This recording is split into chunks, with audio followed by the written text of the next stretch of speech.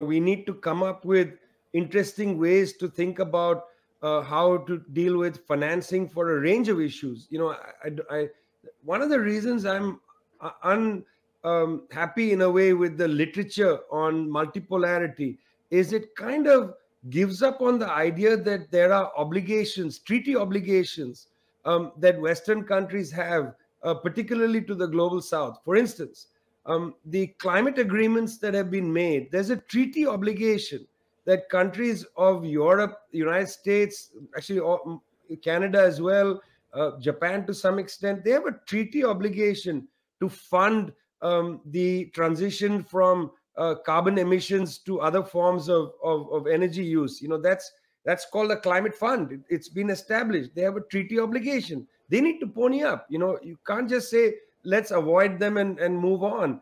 Um, then as well, uh, we have the question of the International Monetary Fund and the way in which it continues to operate in countries of the global south, uh, you know, fighting to push for further austerity. Saw a ghastly agreement on the table in, in, in Zambia. You see what the IMF did to Sri Lanka. 16 IMF agreements effectively impoverished Sri Lanka and you saw the complete collapse of, of, of, of, the political system, such collapse of the political system that an old US government ally, Ranil Wickremesinghe, takes power. You know, that mass protests that took place had the effect of getting rid of a real ghastly family, the Rajapaksa family, but it put in place Ranil Wickremesinghe. There was no pro-people agenda that was able to um, uh, to appear, you know, at the time. So, you know, this idea that we don't have obligations um, that we want the West to meet.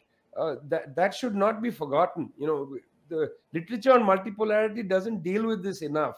And furthermore, you know, when you talk to say officials in China, they are very clear. They are not interested in a multipolar world as such. You know, um, they don't want a divided world. In fact, the funny thing, Danny, is that right now Washington D.C. is is the anti-globalization people. Uh, they want to create walls. They want to sanction half the planet. They want to create, um, you know, a divided planet. It's the it's the Chinese who are saying no. We want to live on one planet, except that we want our sovereignty to be, um, you know, to be to be recognized, and we don't want to take orders from from the United States. You know, what very interesting this business about Russia. If I can end with this point um, you know, when the Soviet Union was destroyed by Gorbachev, who died recently, um, in 19 from 1991 till 2007, Russia was a pliant state of the United States. You know, both under Boris Yeltsin, that drunkard who was handed uh, the keys to the kingdom first by Gorbachev and then by the U.S. government, and then secondly to Vladimir Putin. Putin was brought in as a safe pair of hands because he agreed not to prosecute Yeltsin or the cronies who had stolen so much of the people's wealth in Russia.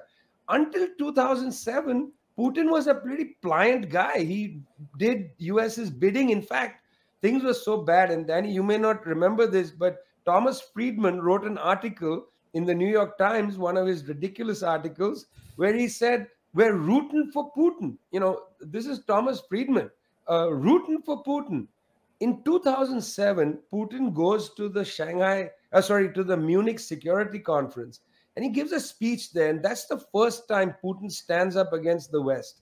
He says in that speech we don't want one single master.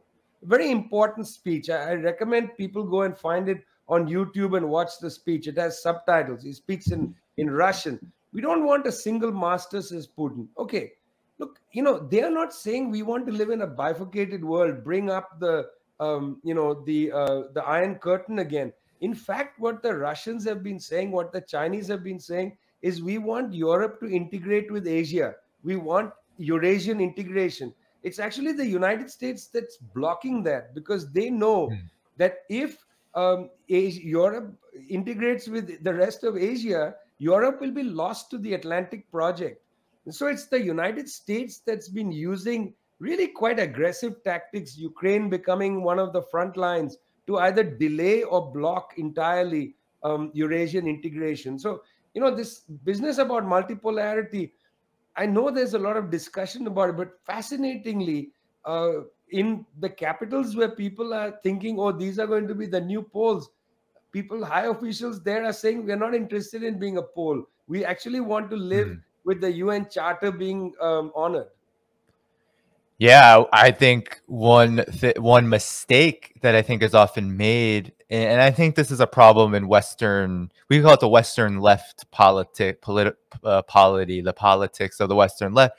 Then oftentimes things are seen as very objective, like or subjective, like just ideas in people's heads, right? I think when whenever I hear China and Russia reference multipolarity, which they do reference it a lot, but it's not in reference to something that they are charging forward with as a political mission, as some kind of guiding for uh, as, as their ideology. It's about uh, what is just happening in the world, right? That there is this uh, uh, a trend that's going on where the United States is the hegemon and it's trying to prevent countries from being able to assert their sovereignty. And it has created and has necessitated more unity and more cooperation among countries that are being targeted by this hegemon. And then uh, there is always a consistent advocacy. I mean, right now, you could say with Russia, for example, that because of how intense the aggression has become, right, there's no room for negotiation. Europe, uh, the US, they're not interested in, in negotiating with Russia.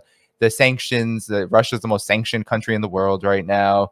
Uh, the weapons just keep flowing into Ukraine, and it's just it's just a lot. It's just very provocative. So, but up until that point, Russia was saying we want to have Europe and the United States as deep partners, and so was China. And China still uh, talks about this and still tries to engage in this way because I think that's what their definition of multipolarity is. It's we have our sovereignty we work together because we need to, we have to, and we have the right to. We have the right to be sovereign. We have the right to be independent. We have a lot of commonalities in the globe with the global south.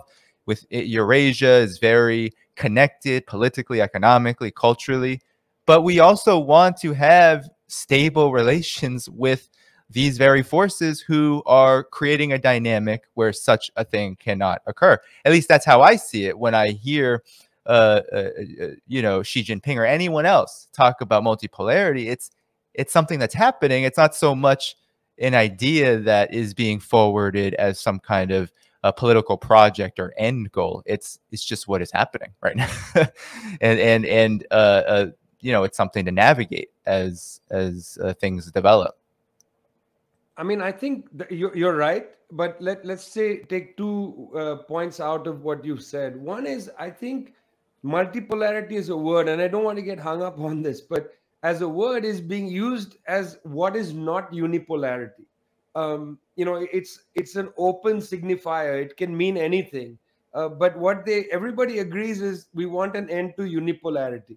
That was Putin's statement: "No single master." Uh, he was highly attacked, by the way, for that speech by um, the press in the West for having said that. Uh, so yeah, th- there's a great desire no longer to have to be dictated to what Noam and I call the Godfather. Um, you know, in this book, the, the the withdrawal, we we describe U.S. power as a sort of mafia um, that the U.S. government operates as a Godfather uh, on behalf of private corporations and so on. So yes, that's one one point that there's this desire not to be dictated to by by anybody and so on. Um, the other important thing here is that you know there, there's a lot of discussion that after the United States, China, uh, this theory of uh, hegemony, as it were, comes from a reading of European history. That you know, if, earlier there was the the world capitalist system centered on the Italian city states, and then it moves to Amsterdam, and then it moves to the city of London, you know, with the finance and so on, the British Empire, and then with the decline of the British Empire, the center of capitalist hegemony goes to the United States. Well, there was a discussion over the last 10 years that, well, the United States is in decline. Now the center will be China. Um, I've put this question to a number of Chinese academics, people in government, and so on. Um, you know, there's this whole discussion about the Thucydides trap and so on. The Chinese, in fact, what they say is interesting. They say that there is no necessity of having a central power in the system, particularly since they are trying to innovate uh, something that is not exactly, you know, the capitalist system. They are trying to innovate something. Uh, call it socialism, which is an, a platform of innovation. It's not actually, you know, a formula. It's a way to uh, improve the sovereignty and dignity of people. Uh, they're innovating something, but they make it very clear. China doesn't want to be at the center of the world. You know, in fact, when Xi Jinping uh, gave a speech a few years ago on the Chinese dream, people said, "Oh, this is going to be like the American dream. You know, it's going to be a captivating, soft power." A way of, of, of uh, appealing to the world's people. You know, how the American dream says everybody on the planet can be an American. That's the fantasy of the American dream. We know if that is to come true, we'll need like 50 planets, uh, given the rate of consumption of people in the US, personal consumption and aggregate consumption. Well, what Xi Jinping talked about with the Chinese dream wasn't a dream for all the people in the world that they become Chinese. It was for the dream of the people of China. Um, it was about how the Chinese people want to exercise their sovereignty. They don't want another century of humiliation, how the Chinese people were going to eradicate poverty and so on. And when I talked to people and said, well, why didn't Xi Jinping make a statement about the world? They said, well, other countries should make their own statements. It's a very interesting thing. You know, we're entering a phase where leading powers in the world, for the first time in world history, perhaps since um, the Soviet Union was around, uh, leading power in the world is saying, hey, listen, everybody, you've got to have your own projects. There needs to be a project either for the African continent or for the various countries in Africa. There needs to be a project in South America. I mean, I was just in Brazil. People around the campaign of Lula da Silva, who most likely is going to win the election in October, they're talking about creating a regional currency called the SUR. Um, they want to build a currency not only for inter uh, cross-border trade, you know, between say Brazil and Bolivia, but also to hold reserves. That's interesting. Uh, begs the question of who the hell is going to underwrite your currency? If Brazil, the largest economy in that region, could be an interesting development. But the point that I'm trying to make is the Chinese aren't saying, look, we are articulating a Chinese dream for the whole planet. We want the whole planet to become Chinese. That was what the American dream was about. They are saying, come up with your own dreams, guys. And I'm actually very sympathetic to that argument countries, regions need to come up with their own projects. And I must say, we're doing a terrible job of coming up with our own projects.